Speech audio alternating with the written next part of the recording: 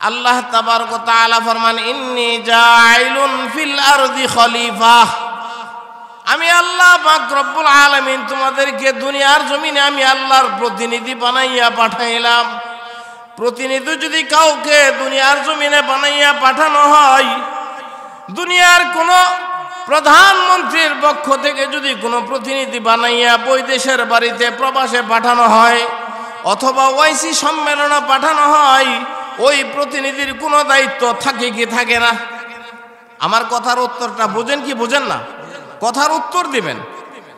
যদি কোনো প্রতিনিধি বাংলার জমিন থেকে অন্য কোনো দেশে কোনো প্রতিনিধি পাঠানো হয়, প্রতিনিধির দায়িত্ব থাকে কি থাকে না? তাহলে আল্লাহর পক্ষ থেকে যে আমাদের মতো এই রকম দুর্বল মানুষগুলিকে প্রতিনিধি বানাইয়া আল্লাহ পাঠাইছেন, ওই আল্লাহর পক্ষ থেকে আমাদের উপর কোনো দায়িত্ব আছে কি নাই? যদি আল্লাহর পক্ষ থেকে আমাদের উপর কোনো দায়িত্ব থাকিয়া থাকে, আমরা সেই দায়িত্ব কি পরিমাণ আদায় করতে পারলাম, কি পারলাম না, এইগুলোর জবাবদিহি মাওলার দরবারে করতে হবে কি হবে না? হবে কি হবে না? ওই ফিকিরটাই যদি আমাদের থাকে, তাহলেই যথেষ্ট।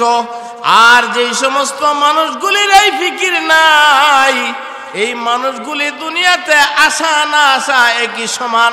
দুনিয়ার জমিনে পশু পঙ্খীও আছে, মানুষও আসে আজকে জুমার সময় আমি কয়েকজনকে ডাক দিলাম, বাবা, নামাজটা পড়িয়া যাও। কিন্তু তারা নামাজের মধ্যে তেমন মনোযোগ নাই। আসছে না, আসার পরে বললাম, নামাজ তো পড়তে গেলে না, কিছুক্ষণ পরে যখন আমিও চলে যাব, তুইও চলে যাবি। কাল হাসরের ময়দানে তো আল্লাহর কাজ গড়াই দাঁড়াইয়া আমি বুরহানের নাম নিয়ে ডাক দিয়ে বলবি, আল্লাহ, এই বুরহান তো সে নামাজ পড়তে যাইতো, আমাদেরকে কোনোদিন নামাজের কথা বলে নাই তার সঙ্গে আগে তার বিচার করো, তারপরে আমাদের তুমি খবর করিও, বিচার করিও। যার দরুন তারা নামাজের সম্পর্কে বুঝছে, আমাদেরকে দাওয়াত দেয় নাই। এই কারণে আমার বিরুদ্ধেই তো তোরা আবার আল্লাহর কাঠ করায় কেস দায়ের করবি। তাহলে আপনারা যারা, আমরা যারা আছি, যেই সমস্ত মানুষগুলি আল্লাহর পক্ষ থেকে যে প্রতিনিধি হয়ে আসছে ওই প্রতিনিধির দায়িত্ব যে সকল মানুষের উপর আছে, ওই দায়িত্ব যারা বুঝে না, তাদেরকে বোঝানো দরকার আছে না নাই? যেই মানুষগুলি মুসলমান দাবি করে, আসলে তো মুসলমান, শুধু আমি মুসলমানের ঘরের মুসলমান, এই কথা বললেই চলবে না। মুসলমানের ঘরের মুসলমান হইছি, এই অলসতার মধ্যেই যদি বসিয়া বসিয়া থাকি শয়তান কিন্তু অবসর নাই, সে কিন্তু তার কাজ আছে। আপনার আমার শত্রু আছে না নাই?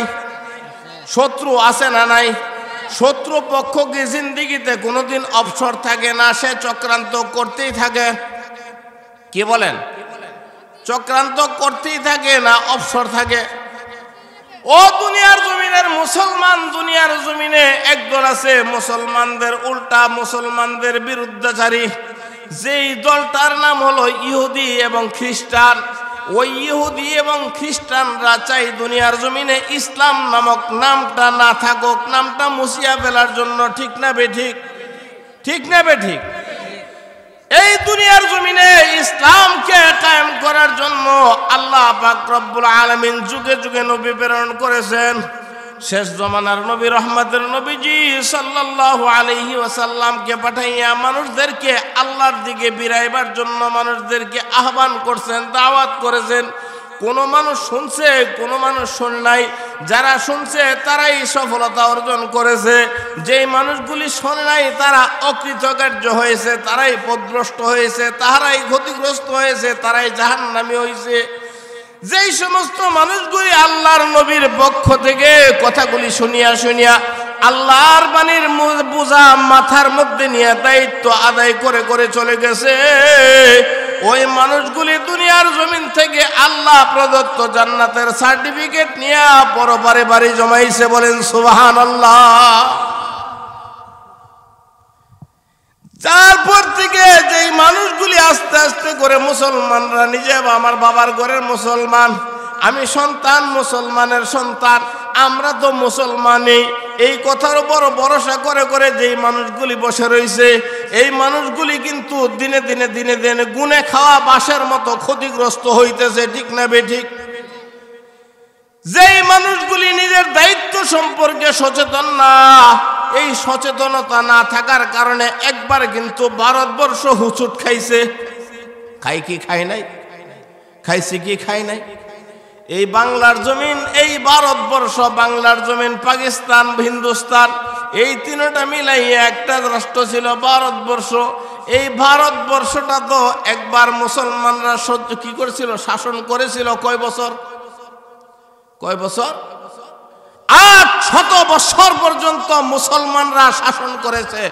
এই ভারতবর্ষ। পৃথিবীর জমিনে আরেকটা রাষ্ট্র ছিল, যেটার নাম ছিল স্পেন, যেটার নাম স্পেন। ওই স্পেনও পর্যন্ত আটশো বছর পর্যন্ত মুসলমানরাই কি করছে? শাসন করেছে। যেই সময় মুসলমানরা মুসলমানদের মধ্যে অলসতা দেখা দিয়েছে ওই সময় আস্তে আস্তে গুনে খাওয়া বাসের মতো দুর্বল হয়ে যাওয়ার কারণে ইহুদি, নাসারা, খ্রিস্টানরা তারা সুযোগের সন্ধান বুঝিয়া ওই মুসলমানদের উপর চড়াও হয়ে বসছে। মুসলমানদেরকে নিষ্পিষিত করার জন্য তারা পাই তারা করে। মুসলমানদেরকে শেষ করে দিয়ে এই বাংলা, ভারত, পাকিস্তান, এই তিন রাষ্ট্র, এক রাষ্ট্র থেকে মুসলমানদেরকে নিষ্পিষিত করার দেওয়ার জন্য চেষ্টা কিন্তু বহু করেছে। করছে কি? করে নাই। ভারতবর্ষে কিন্তু সফলতা অর্জন হয় নাই, সফলতা অর্জন করতে পারে নাই। স্পেন কিন্তু কইরা ফেলছে। স্পেন এমন একটা রাষ্ট্র ছিল যে রাষ্ট্রের মানুষ আদব কায়দা কি বুঝতো না, সামাজিকতা কি বুঝতো না, পরিবেশ কি বুঝতো না। ওই যুগের তারেক বিন জিয়াদ, তারেক বিন জিয়াদ মুসলমানদের সেনাপতি সৈন্য সীমান্ত লইয়া যখন ওই স্পেন জয় করার জন্য, যুদ্ধ করার জন্য রওনা করেছে আল্লাহর কালামের বাণী নিয়ে যখন সাগর পাড়ি দিয়া ওই দ্বীপ অঞ্চলে তারেক বিন জিয়াদে যখন স্পেনের রওনা করেছে, জাহাজগুলি নিয়ে যখন তারা এইরকম বিরার জন্য চেষ্টা করেছে, তারেক বিন জিয়াদ তখন যখন স্পেনের ওই যেই এলাকার মধ্যে যাইয়া পাহাড়ের সাইডে বিরবে, সাগর দিয়ে যখন সাগরের পারে যাইয়া পাহাড়ের সাইডে বিরবে তার একদিন আগে বা দুই দিন আগে, কিছুদিন আগে স্বপ্নে যুগে দেখতেছে, তার একদিন জিয়াদ সৈন্য সীমান্ত নিয়ে এইরকম স্পেনে ঢুকতেছে।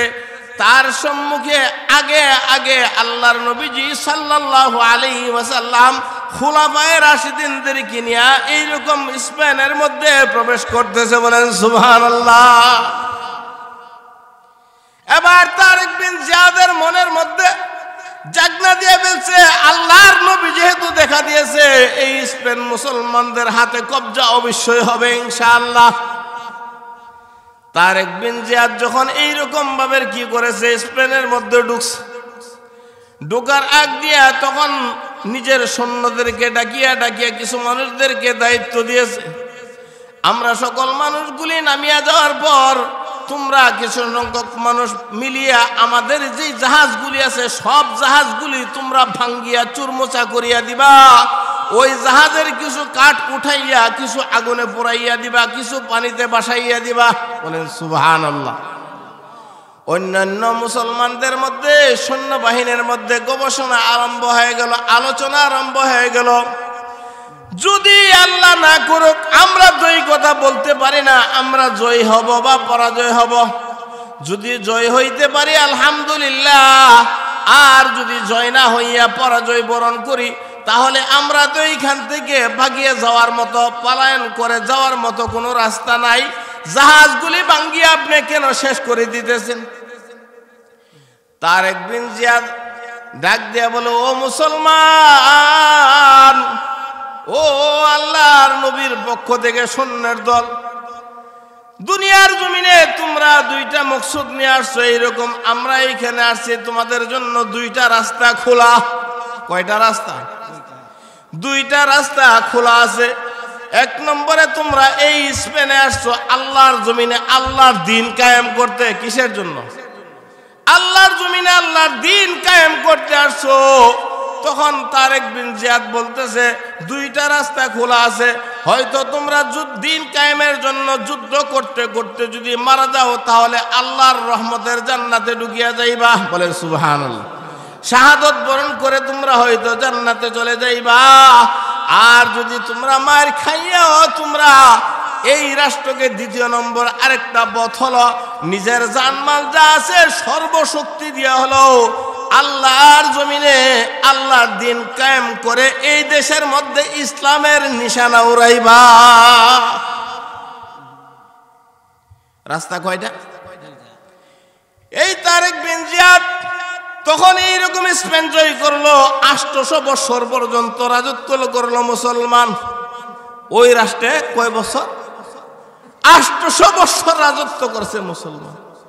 শেষ পর্যন্ত মুসলমানেরা যখন নিজেদের সচেতনতা ছাড়িয়া দিল, কোরআন পড়া ছাড়িয়া দিল, এবাদত বন্দিকে ছাড়িয়া দিল, গুরুত্ব দেয় না নামাজের মধ্যে, গুরুত্ব দেয় না মাসালা মাসাইলের মধ্যে, গুরুত্ব দেয় না হক হালালের মধ্যে, এই সুযোগের সন্ধানে ইহুদি নাসারাগুলি আগে অগ্রসর হইতে হইতে মুসলমানদেরকে কচু কাটা আরম্ভ করল। বলেন নওয়াজুবিল্লা আষ্টশো বৎসর পরে যখন মুসলমানরা আর কোনো দিকে কোনো পথ পাই না। তখন তাদেরকে মুসলমানরা শুধু মায়ের খাইতেছে খাইতেছে। তখন ওই দেশের রাজা বাদশাহ নেতৃবৃন্দ তারাই কথা বলল, ও মুসলমানের দল, ও মোল্লার গোষ্ঠীর দল, তোমরা এক কাজ করো, তোমাদের জন্য আমরা কিছু করব না, আমরা তোমাদেরকে একটা আমানের ব্যবস্থা করে দেই। এক নম্বরে তোমরা যদি নিজের এলাকায় যার যার মসজিদের ভিতরে গিয়ে আশ্রয় নাও আর দুই নম্বরে সাগরের মধ্যে আমরা যতগুলি জাহাজ বানায় রাখছি, সেই জাহাজগুলির মধ্যে যদি যাইয়া তোমরা আশ্রয় নাও, তাহলে তোমরা আমান। এই কথা বলার পরে সরল মনা মুসলমানগুলি, মুসলমানের মন তো একটু সরল থাকে না? না খারাপ বুদ্ধি থাকে? সরল মনা মুসলমানগুলি বিশ্বাস করিয়া দেখল যে আর মায়ের খাওয়া ছাড়া উপায় নাই। যাই হোক, তারা যেহেতু ওয়াদা দিয়েছে কিছু সংখ্যক মুসলমান মসজিদের মধ্যে যাইয়া আশ্রয় গ্রহণ করেছে, বাদবাকি মুসলমান ওই রকম জাহাজের মধ্যে যাইয়া তারা এইরকম আশ্রয় নিয়েছে। শেষ পর্যন্ত ওই ইহুদি খ্রিস্টানরা তখন মুসলমানদের জাহাজগুলিকে সাগরের মধ্যে বাসাইয়া দিয়া, ছিদ্র করিয়া করিয়া সাগরে ডুবাইয়া লক্ষ লক্ষ মুসলমানদেরকে শহীদ করে দিল। আর যেই সমস্ত মুসলমানগুলি মসজিদের মধ্যে ঢুকছে, ওই মসজিদের মধ্যে বাহির দিয়া তালা দিয়া ভিতরে পেট্রোলের আগুন দিয়া মসজিদগুলির মুসলমানদেরকে আগুনের দ্বারা পুরিয়া নেশাত করে দিল বলেন নওজবিল্লা এবার মুসলমান নাই, সব মুসলমান সাফ করিয়া, স্পেন, এবার মুসলমান শূন্য হয়ে গেছে। তখন তারা কি করে? একটা বিজয়, একটা উৎসব করতেছে। ওই একজনের একজনে জামাই বউ, রাজা রাজী তারা তারা তখন একজন একজনকে ফুল দেয়। সেই ফুলটা হলো এপ্রিলের প্রথম তারিখ। আমাদের দেশের স্কুল কলেজের ছেলেরাও এপ্রিলের ফুল দেয়। কিসের ফুল দেয়? এপ্রিলের ফুল দেওয়া কি? এটা মুসলমানের পক্ষে না মুসলমানের বিপক্ষে? বিপক্ষে না পক্ষে? মুসলমানের বিপক্ষে না জানা সত্ত্বেও এখন ছেলেরা মেয়েরা দেয়, কিন্তু আসলে কিন্তু মুসলমান মাইরা তখন তারা আনন্দ উল্লাসে ফুল দিয়েছিল। কিন্তু দেখা গেছে, স্পেন তারা দখল করে নিয়েছে। আল্লাহর কুদরত বোঝা যায় না, এই ভারতবর্ষ কিন্তু আষ্টশো বৎসর পর্যন্ত রাজত্ব করেছে। এই ভারতবর্ষকে তারা সেই রকম গ্রাস করার জন্য চেষ্টা করেছিল। এই ভারতবর্ষকে গ্রাস করার জন্য যখন চেষ্টা করেছে, আর যখন ইস্ট ইন্ডিয়া নামক কোম্পানি আসিয়া যখন এই দেশটাকে আস্তে আস্তে করে গ্রাস করে ফেলেছে, সারা রাষ্ট্র যখন সয়লাভ হয়ে গেছে দিল্লির তখন মসনদ থেকে নয়, দিল্লির শাহী মসজিদের মিম্বর থেকে আল্লামা আল্লাহর ওলি, ওলিউল্লাহ মুহাদ্দিস দেহলবি রহমতুল্লাহ আলের ছেলে শাহ আব্দুল আজিজ দেহলবি রহমতুল্লাহ আলাই ঘোষণা করে বলেন ও মুসলমান, এখনও কেন ঘুমায় রইলা? আরও কি ঘুমায়া থাকবা? স্পেন কিন্তু শেষ করেছে তোমাদেরকে শেষ করবে। ইংরেজদের বিরুদ্ধে যুদ্ধ করা মুসলমানের জন্য ফরজ হয়ে গেছে। এবার এই কথা বলার পর কিরে, মোল্লারা শুরু করছে কি? যেখানে আছে মোল্লাগুলিকে ধর। ধরাধরি যখন শুরু করে দিল আল্লাহর বলি তখন এই রকম নিজের মসনদের মধ্যে এই রকম মিম্বর সারিয়া দিয়া নদী পার হইয়া গ্রামগঞ্জের মধ্যে যাইয়া আত্মগোপন করেছে। আত্মগোপন করিয়া বসিয়া থাকে নাই, মুসলমানের কাজ বসিয়া থাকা না। মুসলমানের কাজ কি বসিয়া থাকা? মুসলমানের কাজ তো বসিয়া থাকা না।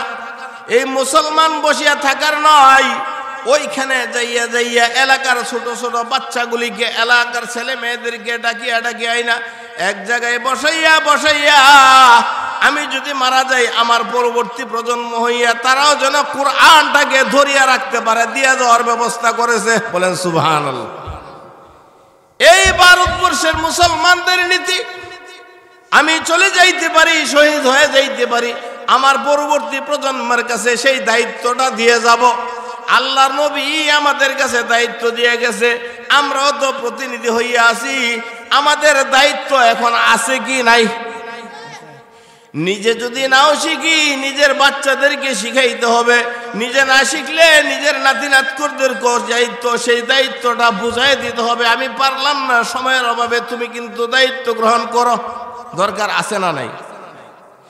এই রকম ভাবে মুসলমানরা যদি দায়িত্বর প্রতি অবহেলা করে, তাহলে কিন্তু মুসলমানদের জন্য সামনে যত বড় বিপদ। যেই মুসলমানগুলি অজ্ঞ হয়ে থাকবে, সচেতন হবে না, তখন তাদের মাথাগুলি খুলিয়া খুলিয়া নিয়ে যাবে। একটারে খুলিয়া নিয়ে বলবে এটা নারী কেলেঙ্কারি ঢুকা। আরেকটারে বলবে এটা বেশি বেশি পাগলামি করে এটারে এমক মামলা দিয়া ঢুকা। কি বলেন? করতেছি কি, করে নাই? করতেছি কি করে নাই। ও দুনিয়ার জমিনের মানুষ, তোমরা যদিও নিজেরা সচেতন নয়, নিজের মানুষ দিয়েই নিজেকে কিন্তু গায়েল করতেছে, মুসলমানকে দিয়ে মুসলমানরে গায়েল করতেছে, ঠিক না বে ঠিক? শত্রু কিন্তু বিধর্মীরা শুধু শত্রু নয়, শত্রু কিন্তু শত্রু নয়, বরঞ্চ নিজের পার্শ্ববর্তী, নিজের মহিবিন নিজের কাছের মানুষ কিন্তু সবচেয়ে বড় শত্রু, ঠিক না বে ঠিক? মুসলমান দিয়া মুসলমানদেরকে গায়েল করিয়া করিয়া মুসলমানদেরকে দুর্বল করতেছে। এতে করে তারা যখন একদিন গ্রাস করে নিবে, মুসলমানরাই তখন দেখবেন যে আস্তে আস্তে দুর্বল হয়ে গেছে। সব মুসলমানগুলিকে তখন পানিতে চুবাইয়া চুবাইয়া শেষ করার চেষ্টা করবে। নওয়াজবিল্লা আল্লাহ আমাদেরকে এইরকম বিপদ থেকে হেফাজত করুন, বলেন আমিন। যাই হোক, বলতেছিলাম, আমাদের নিজের দায়িত্বগুলি সম্পর্কে সচেতন থাকতে হবে। আল্লাহ পাক রব্বুল আলমিন আমাদেরকে দায়িত্ব দিয়েছেন। সেই দায়িত্ব পাইয়া বসিয়া থাকলে চলবে না, কাজ করা লাগবে। কি বলেন, কাজ করা লাগবে না, বসিয়া থাকলে চলবে? না, আমি শুধু, আমি আমার কাজ করি, তসবি সরাটা নিলাম সুবহান আল্লাহ আলহামদুলিল্লাহ, আল্লাহ আকবার বললাম, মসজিদে চুপে চুপে গেলাম, আবার মসজিদ থেকে আসলাম, কে কি করল, না করল, ওইগুলো আমার দেখার আর দরকার নাই, এইরকম করলে চলবে? এইরকম করলে চলবে। আরে মিয়া, টাকা পয়সা কামাই করতেছেন, বাড়িঘর করতেছেন। কি বলব দুঃখের কথা? যারা দায়িত্ববান, তারাই দুনিয়ার জমিনে টাকার পিছনে ঘুরতেছে। যারা দায়িত্ব নিয়ে আসছে, যাদের মাথায় দায়িত্ব আছে, তারাই টাকার পিছনে ঘুরতেছে। শুধু টাকা কীভাবে কামাই করব, কীভাবে টাকা কামাই করব, দায়িত্ব বিক্রি করিয়া কেমনে টাকা কামাই করব?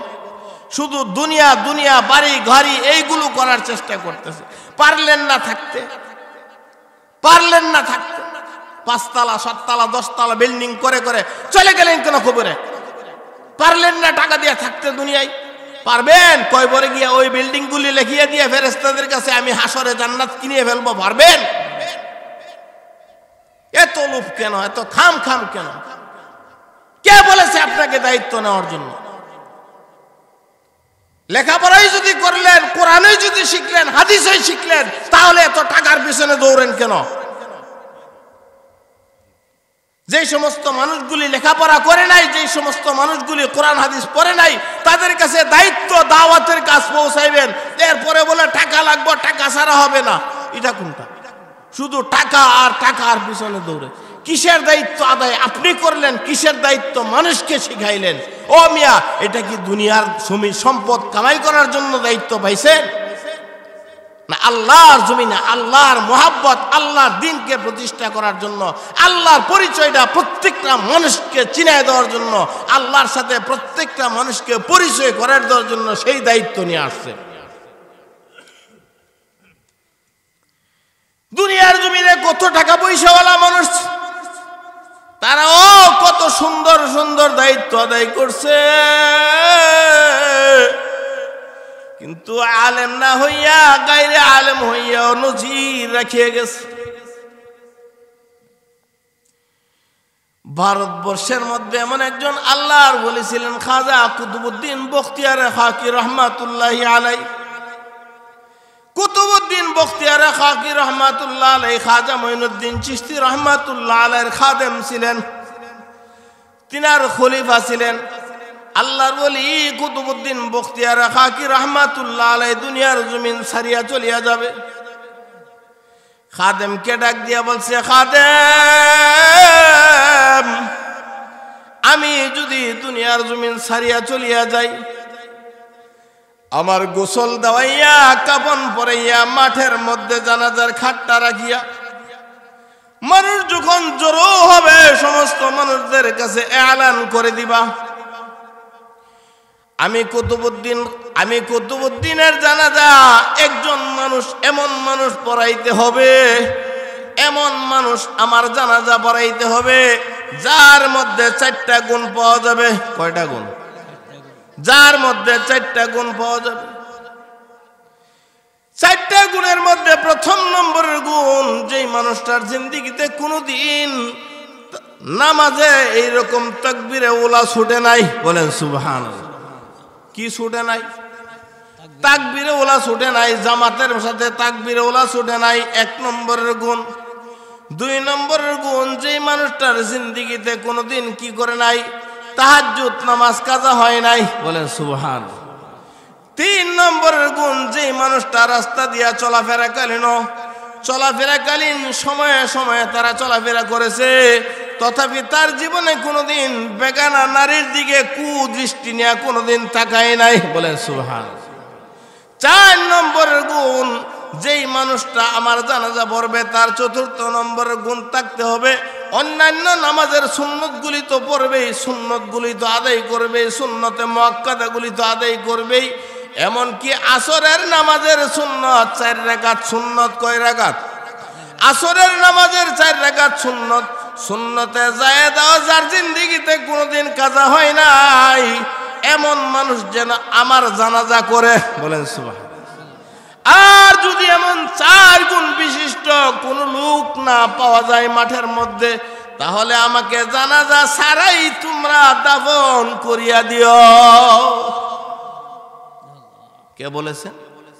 কুতুবুদ্দিন বখতিয়ার হাকি রহমাতুল্লাহ আলাই আল্লাহর বলি খাজা মঈনুদ্দিন চিস্তি রহমাতুল্লাহ আলের খাদেম এবং খলিফা। একজন আমার জানাজা পড়াবে, ওই জানাজা পড়েন না, ইমামের কয়টা গুণ থাকতে হবে? চারটা গুণ। এই চার গুণওয়ালা ইমাম আমাদের জগতে এখন বহু বহু আছে, কি বলেন? আমাদের দেশে তো এখন সব কিছু কন্টাকে চলে। হাদিসের কন্টাক্ট কষি আসি তার হাদিস আমি নিয়ে গেলাম। সারা জীবন দুই টাকা, পঞ্চাশ টাকা, দশ টাকা, রাস্তার মোড়ে মোড়ে শিল্পী হইয়া, গান গাইয়া, নর্তুকি নাচিয়া নাচিয়া। আজকে কয় সিয়াসির তার হাদিসের দায়িত্ব আমি নিয়ে গেছি, সব আমি পড়ছি। বলেন নওয়াজবিল কয় কি কয় না? এই, কয় কে, কয় না?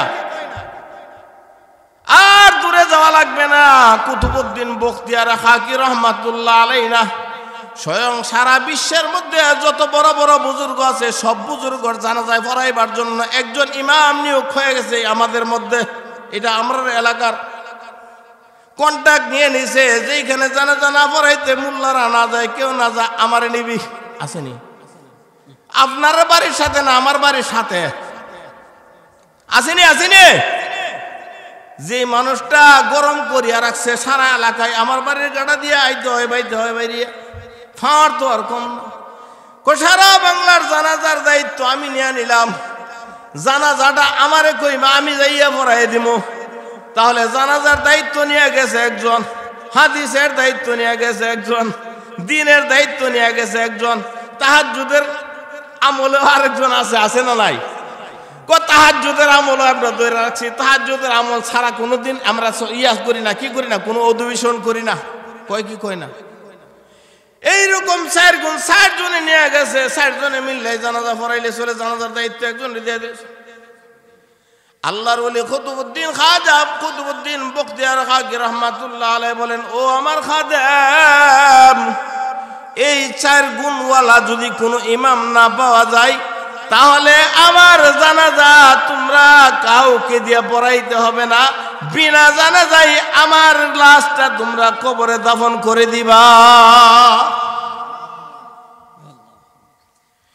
এবার এই এলান হয়ে গেছে। হাজারো হাজারো মানুষ, লক্ষ লক্ষ মানুষ মাঠের মধ্যে দাঁড়ানো। কি পরিমাণ মানুষ হইতে পারে আপনারা একটু উপলব্ধি করেন? ওই যুগের আল্লাহর বড় একজন অলি মারা গেছে। বাসার দরবারও এই খবর জানে সবাই। আমরা তো ওই কুতুবুদ্দিন বখতিয়ার খাকির জানাজা দেখি নাই। বাংলার জমিনে জানাজা, কিছু মানুষের জানাজা পড়েছিলাম। এক জানাজা দেখেছি, ঢাকার ঈদগাহে ফজলুল হক আমিন রহমাতুল্লাহ আলার জানাজা দেখছি।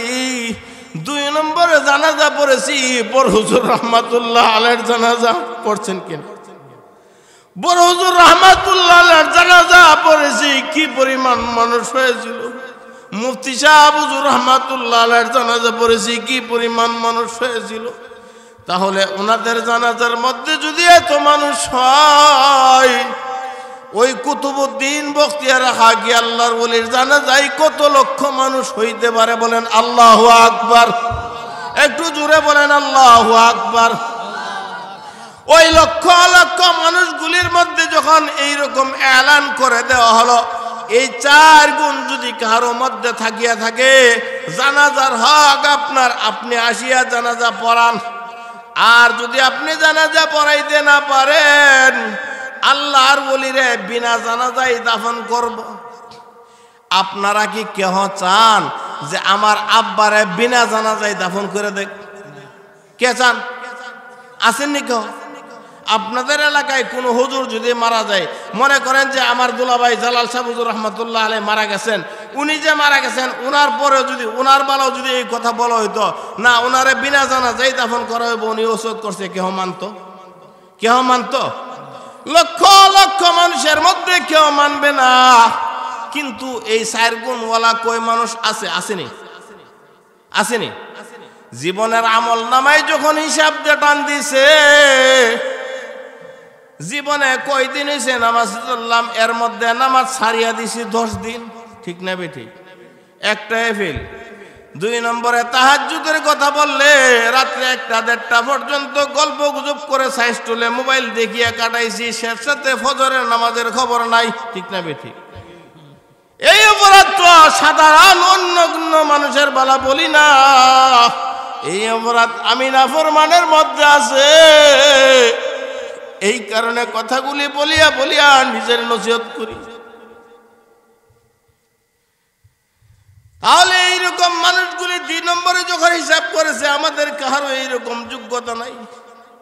তিন নম্বরে মানুষগুলি এইরকম বেগানার দিকে তাকাইয়া গুণা থেকে যে বাঁচবে, কেউ তো গুণা থেকে বাঁচিয়া থাকতে পারে নাই। গুণা একবার না একবার তার হয়েই যায়, ঠিক না বেঠিক। চার নম্বরে আসরের নামাজের সুন্নত কাজা হবে না, দূরের কথা, আসরের নামাজেই তো ছুটিয়া যায়। লক্ষ লক্ষ মানুষের মধ্যে কারও জানা যায় এরকম আর হইতেছে না, সাহস হইতেছে এবার নিজের খাদেম খুদ্দামরা খলিফা, খোলাফায় কেরাম, তারা যখন এইরকম খাটিয়া দরিয়া, নিজের সন্তানাদি পরিজন যখন খাটিয়া দরিয়া উঠাইয়া, এবার নিয়ে যাবে গুরুস্থানে, বিনা জানা যায় আল্লাহর ওলির দাফন হবে। সারা মাঠের মধ্যে মানুষ নিজের ভুল বুঝতে পাইরা কান্নার উল পড়ে গেছে। এমত অবস্থায় সামনে থেকে একজন মানুষ আস্তে আস্তে করে কাছে আসছে, আসিয়া বলছে, ও, সন্তানের দল খোলা পায় গ্রামের দল, তোমরা খাটিয়া উঠাইও না। জানাজা আজকে আমি পড়াবো। জানাজা পড়াইবে এমন একটা মানুষ, যেই মানুষটা কোনো আলেম না, যেই মানুষটার দায়িত্ব বেশি যে মানুষটার দায়িত্ব বেশি। আজকের জানা জানাজা আমি পড়াইব, লক্ষ লক্ষ মানুষগুলি দাঁড়াই রয়েছে, লোকটাকে না জানে কত বড় আল্লাহর বলি না জানে কত বড় ওলামা, না জানে কত বড় আলেম, ঠিক না বে ঠিক? যেই মাত্র লোকটা বলছে, আমি আজকের জানাজা পড়াবো। এই কথা বলিয়া যখন সামনে গেছে, সামনে গিয়া কুতুবুদ্দিন বখতিয়ার খাকি রহমাতুল্লাহ আলের কাফনের মুঠিটা খুলিয়া চেহারাটা বাহির করিয়া কপালের মধ্যে একটা মায়ার চুম্বর খাইছে। আর ডাক দিয়ে বলতেছে গো আল্লাহর বলি, নিজের সারা জীবনের আমলগুলিরে গোপন করিয়া আল্লাহর জান্নাতের রওনা করেছেন। আর আমার উপর মায়া মমতা না করিয়া আমার গোপন আমলের কথাগুলি দুনিয়ার মানুষদের কাছে প্রকাশ করে দিলেন। ও আল্লাহর বলি দুই নম্বরের কথা, জানাজা তো আপনার পড়াবো কথা ঠিক। কাল হাসরের ময়দানে যখন আল্লাহর দরবার থেকে জান্নাতে পারি দিবেন, ফুলসেরাত পারি দিয়া জান্নাতের দিকে রওনা করবেন, ওই দিন কিন্তু আমাকে না নিয়ে আপনি যায়েন না। আল্লাহর দরবারে সেবাত করিয়া কিন্তু আমাকে সঙ্গে নিয়ে জান্নাতে যাবে। ওই লোকটার কোনো লোক নয় ওই লোকটা ছিল ভারতবর্ষের ওই কালীনের প্রধানমন্ত্রী, ওই কালীনের বাদশাহ শামসুদ্দিন আলতামাস রহমাতুল্লাহ আলাই বলেন সুবহান আল্লাহ সুবহান আল্লাহটা একটু আসতে হইলে বলে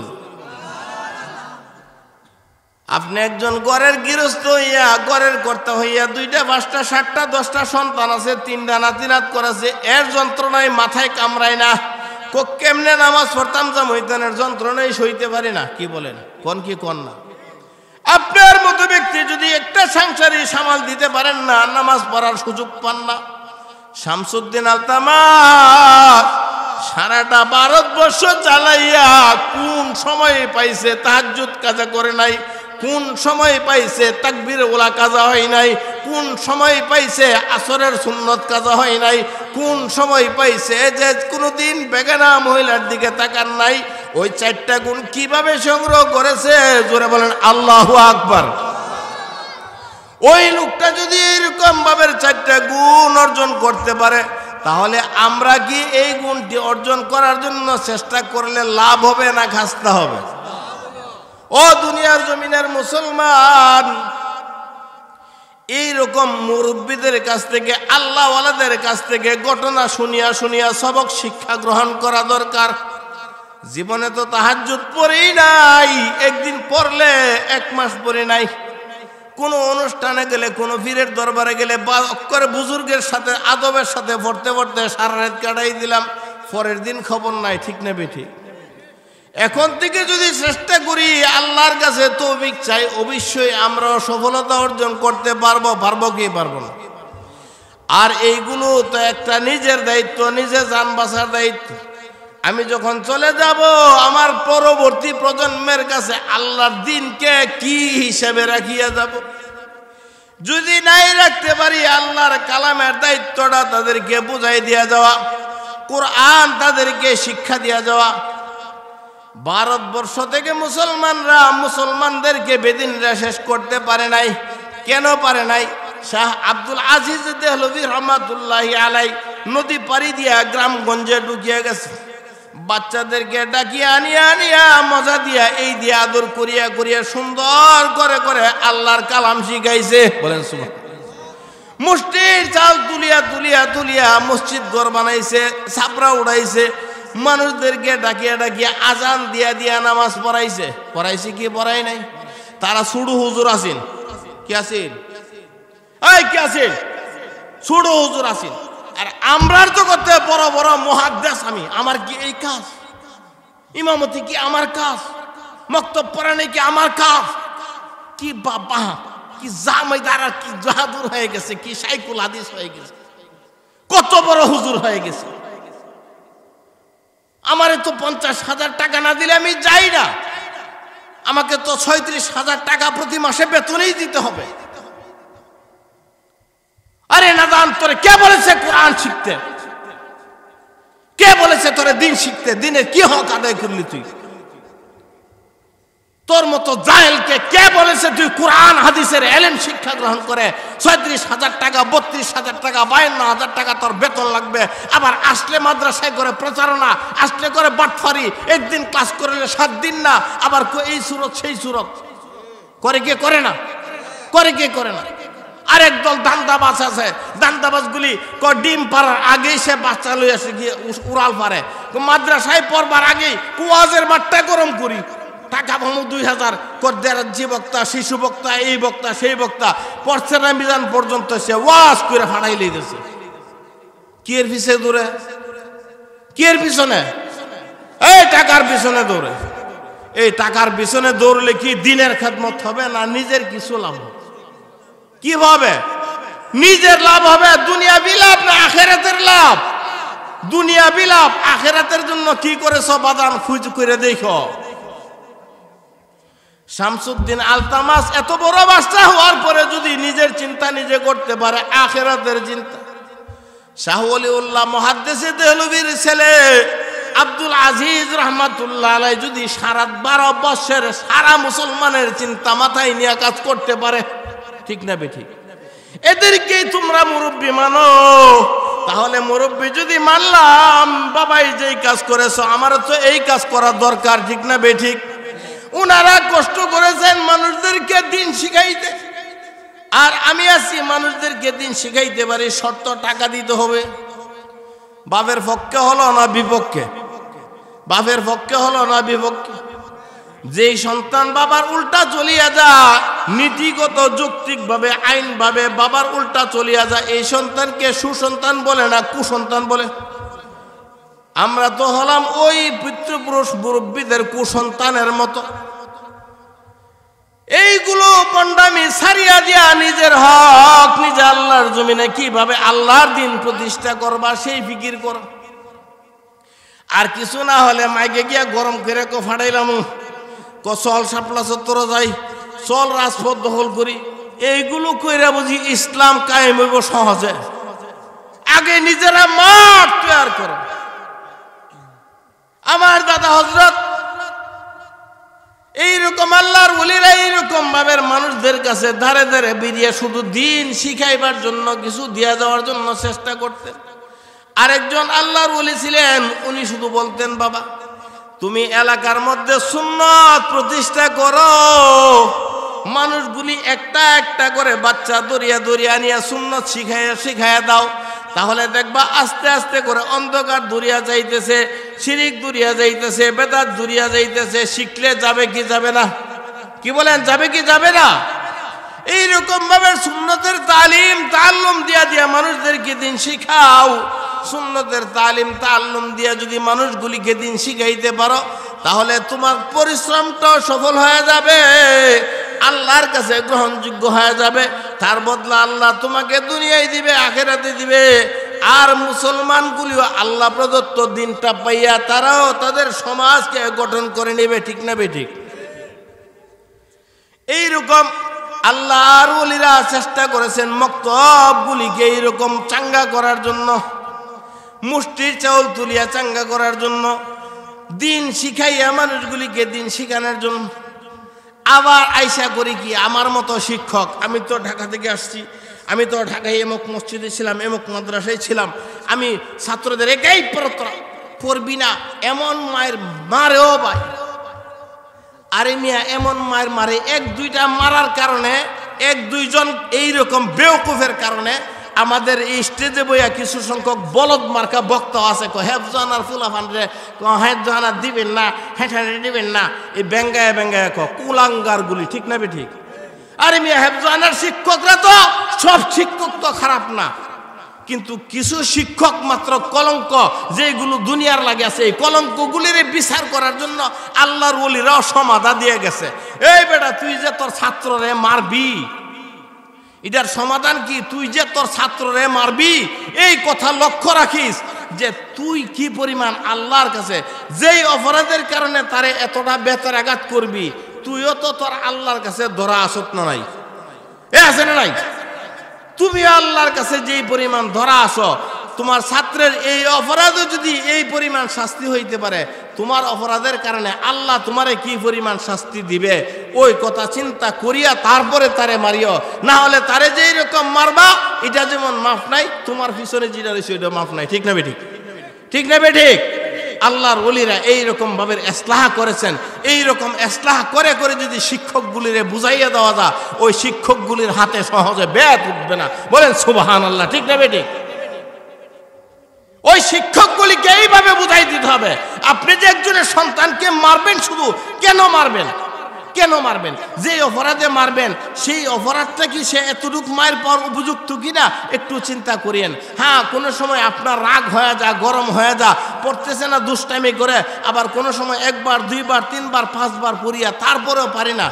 কিন্তু পারি নাই না মারা লাগবো? আপনারে তো সন্তানটারে হাফেজ বানাইয়েই দিতে হবে, সেই কন্ট্রাক্ট দেওয়া হয় না দিছে? দিছে কন্ট্যাক্ট দেওয়া হয় নাই, হাফেজ বানাইয়াই দিতে হবে কন্ট্যাক্ট দেওয়া হয় নাই। আমার ছেলেটারে কোরআন শরীফ পড়াইয়াই দিতে হবে কন্ট্যাক্ট দেওয়া হয় নাই। আপনার চেষ্টা আপনি করিয়া যান। একদিন লাগুক, দুই দিন লাগুক, এক বছরে না, দুই বছর সে পড়ুক। খরচা যদি দেওয়া লাগে, আমি কিছু দিলাম। না হয় আপনারা যদি ভন করেন, কারণ সব ছেলের ব্রেন একসাথে খুলে না মাইট দিয়া সব হবে না। সমাজগুলিকে বুঝাইয়া আগের দিন শেখানোর চেষ্টা করেন। ও দুনিয়ার জমিনের আলেম ওলামা, ও দুনিয়ার জমিনের মুসলমান, আপনি যদি একটা সন্তান রে, বাপে করে কি এমন ফিটা ফিটটা লয়ে যা মাদ্রাসা ছেলে মাদ্রাসায় জানা গেছে বন্ধ করছে, তিন দিন হুজুরে দিব, আবার মায়ের বাড়ি জেলে দিব মায়ের তখন জায়গা ভাগ্যা। ভাগ্যা গেলে এই ছেলেটারে কেটে নেয়? এই ছেলেটারে? কিছু সংখ্যক দুষ্কৃতিকারী আছে, তারা তালি দিয়া বাচ্চাটা নিয়ে যা, নিয়ে হয়তো স্টেশনে রাখে, রেখে তারা এইরকম তার দিয়া, ওই বড়ি বেসানের কাজ, এই বেসানের কাজ, ওই বেসানের কাজ, এটা এটা কদিন খাওয়া খাওয়া, এটা, সেটা আমার সাথে চলবি, আমি টাকা পয়সা দিব সব কিছু দিব এইগুলো তারে তোর কি করা, স্মাগলারিন বালা, বেলিক্কা বানা, বাবা খুর বানায় ঠিক নেবে ঠিক তাহলে আমার অত্যাচারের কারণে, আমার অত্যাচারের কারণে, আমার টর্চারের কারণে যদি একটা সন্তান আরেক লোকের একটা সন্তান, এই বাবা ঘুরে খাতায় গিয়ে নাম লেখলো, দুষ্ট প্রকৃতির খাতায় গিয়ে নাম লেখলো, এই অপরাধের জন্য আল্লাহর কাঠ গড়াই কি? সে সে জবাব দিবে না, আমার দিতে হবে। কার দিতে হবে? এই দিকে লক্ষ্য রাখতে হবে। কিন্তু বুঝাইয়া শোনাইয়া একদিন, দুই দিন, পাঁচ দিন লাগুক, বাচ্চাদেরকে কোরআন পড়াইবার জন্য চেষ্টা করা। ও আমার আম্মারা, ও আমার আব্বারা, আপনাদের সন্তান, আপনাদের নাতি নাতকর মক্তবে পাঠাইবেন। মনিরুজ্জান হজুর রহমতুল্লাহ আলাই সারাটা জীবন বলিয়া গেছে, দেখেন, আপনারা বাচ্চারে মসজিদে পাঠান না, মক্তবে পাঠান না। আপনাদের অলসতা, আপনাদের চক্রান্ত পড়ছেন, দুনিয়ার লোভে পড়ছেন। না, আপনারা বাচ্চাদেরকে পাঠাইয়া পাঠাইয়া কি করবেন? মক্ত তবে কোরআন শিক্ষা দেন, কোরআনে গানটা বাচ্চাদের মধ্যে আনেন, দিনের কাজ করান। এক ব্যক্তি আল্লাহর উলির কাছে বলতেছে, আল্লাহর উলি আমার সন্তানগুলির আমি মাদ্রাসা না পড়াইয়া চাই, জেনারেল পড়াইতে জেনারেল পড়াইলে বড় সে বড় চাকরি করবে, আমার সংসারের অভাব দূর হয়। আল্লাহর উলি বলতেছি, মিয়া, তুমি যে তোমার সন্তান রে জেনারেলে পড়াইবা, রিজিকটা কি? তার রিজিকটা তুমি বন্টন করছ না আল্লাহ বন্টন করছে? এই, কে বন্টন করছে? আল্লাহর নবী বলেন, আর রিজকো মাকসুমন? আল্লাহ বলেন, ওয়ামা মিন দাব্বাতিন ফিল আরদি ইল্লা আল্লাহি রিজকুহা। রিজিক আমি বন্টন করিয়া রাখছি। নবীজি বলেন, আল্লাহ রিজিক বন্টন করিয়া রাখছে। আল্লাহ বলেন অফিস সামাই রিজকুকুম। তোমাদের আসমানে তোমাদের রিজিক রয়েছে বলেন, সুবহানাল্লাহ।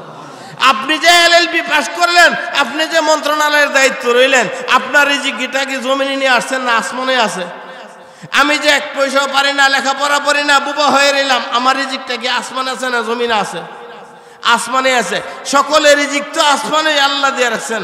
আল্লাহর বলি বলে, তুমি যে জেনারেল পড়াইবা, তুমি তো জানো না তোমার ছেলেটা রিজিক কি পরিমাণ আছে?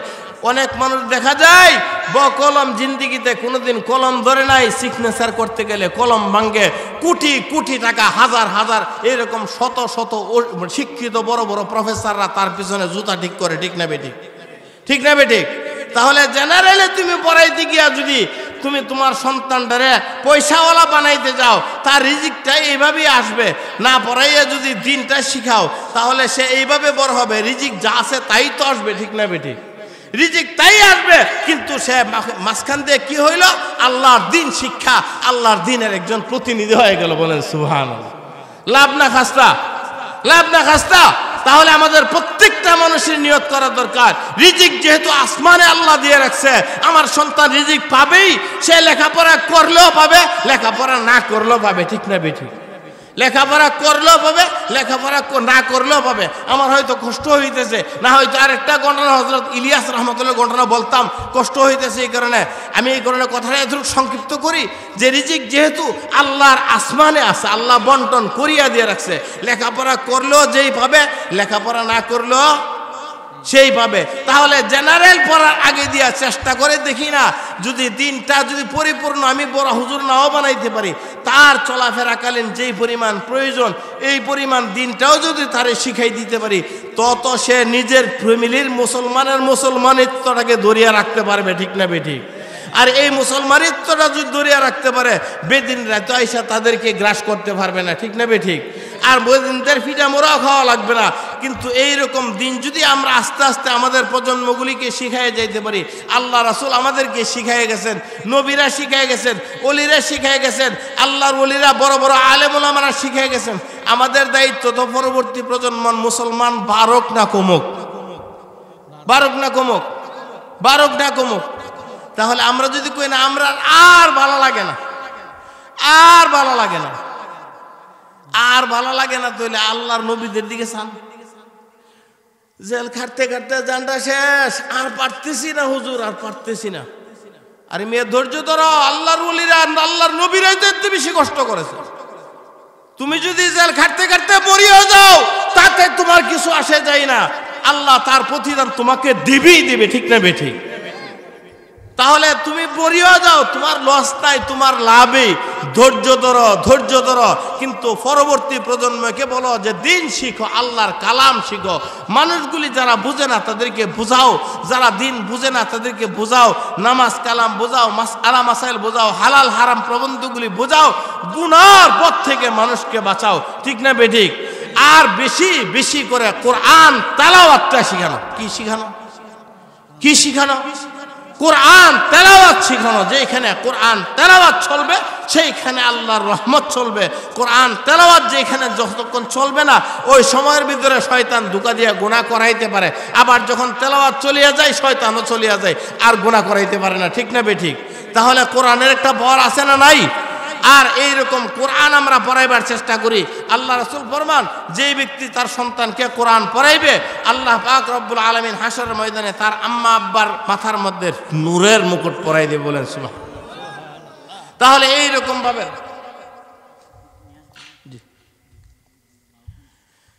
তাহলে এই রকম ভাবে আমরা কি করি? আল্লাহর কালামকে, কোরআনকে আমরা শিখাবার জন্য চেষ্টা করি, ঠিক না বে ঠিক? আরে মিয়া, কোরআন শিখতে যাইয়া আপনি যখন ওই ক্ষেত পাথারে আমি ধান কাটতে পারি না, গৃহস্থির কাজ করতে পারি না, গৃহস্থির কাজ করতে পারলে পারেন, না পারলে নাই। আপনি মুনি দিয়া করান। মুনি দিয়া করাই দিয়ে গেছেন। কয়ে বেড়া তোর কাশি দেখানো পড়েছে দেখি দে আমি এক কাড়ি একদিন, দুই দিন, তিন দিন কাটতে কাটতে পরে দেখা যাক মুনি, চার, পাঁচজন মুনি হলে পারে না। ঠিক না বেঠিক ঠিক না? তাহলে চেষ্টা আপনি করতে থাকেন। আপনি পারবেন না চেষ্টা করতে থাকেন। চেষ্টা করবেন কিসের জন্য? আল্লাহর খুশির জন্য। আল্লাহ তাবারক তাহলা আমাদের সকলকে দিন শিখার জন্য আল্লাহ তৌফিক দান করুক। আমাদের প্রজন্মগুলিকে আমরা যেন প্রথমত কোরআন পড়া, কোরআনের তেলাওয়াতটা শিখাইতে পারি। কোরআন আমাদের কাছে চারটা হক পাওয়া না। গত বছর বলেছিলাম, এক নম্বরে কোরআন বরত্বতার হক পাওয়া না, দুই নম্বরে সম্মান পাওয়া না, তিন নম্বরে তেলাওয়াত পাওয়া না, চার নম্বরে এতাত পাওয়া না। কোরআনের তেলাওয়াতের হক যেন আমরা আদায় করতে পারি, আল্লাহ তাহলে আমাদের সকলকে তৌফিক দান করেন, বলেন আমিন।